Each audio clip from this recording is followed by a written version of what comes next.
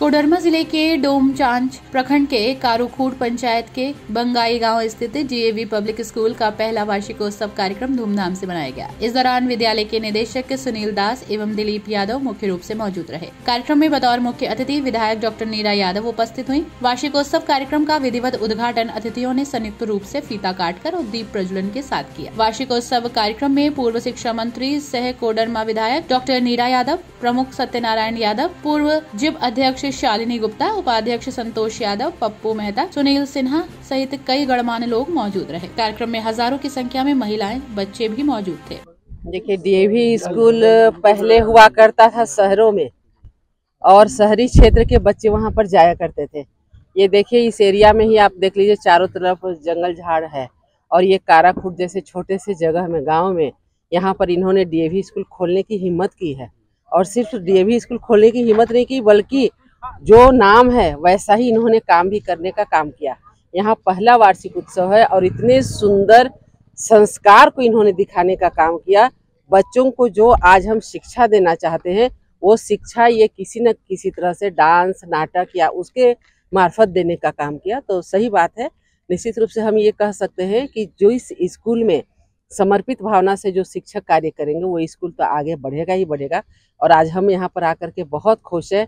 दिल से इनको बहुत शुभकामना देना चाहेंगे कि जिस प्रकार शिक्षकों ने समर्पित हो करके बच्चों के उज्जवल भविष्य के लिए इन्होंने प्रयास किया है, ऐसा इनका आशीर्वाद बच्चों को लगातार मिलता रहे और हम इन्हें आशीर्वाद देने के लिए हमेशा तैयार रहेंगे। और हमारे जैसे माँ बाप खुश होते हैं कि चलो आज बच्चों को 99.9 परसेंट नहीं, आजकल वो बच्चे लाते हैं, लेकिन आज आदर्श नागरिक कैसे हमारा बच्चा बने, कैसे भारतीय संस्कृति को भूले नहीं और इन्होंने विद्यालय में इसको पूरा ध्यान रखा है। एक से बढ़ करके एक कार्यक्रम यही पेश कर रहा था कि ये सिर्फ़ समय का मांग नहीं, बल्कि आज की जो सच्चाई है, उसको इन्होंने दिखाने का काम किया।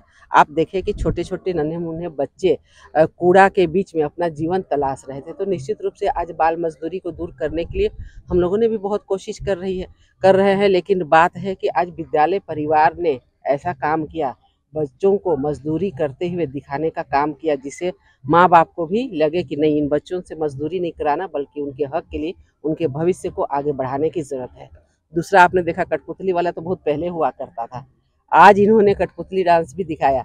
मतलब एक अलग से बढ़ कर के, फिर राष्ट्र भक्ति से ओत प्रोत कैसे हम बच्चों को करें, ट्रैफ़िक रूल को कैसे मतलब छोटी छोटी चीज़ों में इन्होंने काफ़ी कुछ संदेश देने का काम किया। तो मैं बहुत खुश हूँ और हम चाहते हैं कि हर विद्यालय परिवार इस प्रकार का कार्यक्रम करे जिससे कि बच्चों को कुछ सीखने को मिल सके। कोडरमा से मुकेश कुमार गोस्वामी की रिपोर्ट।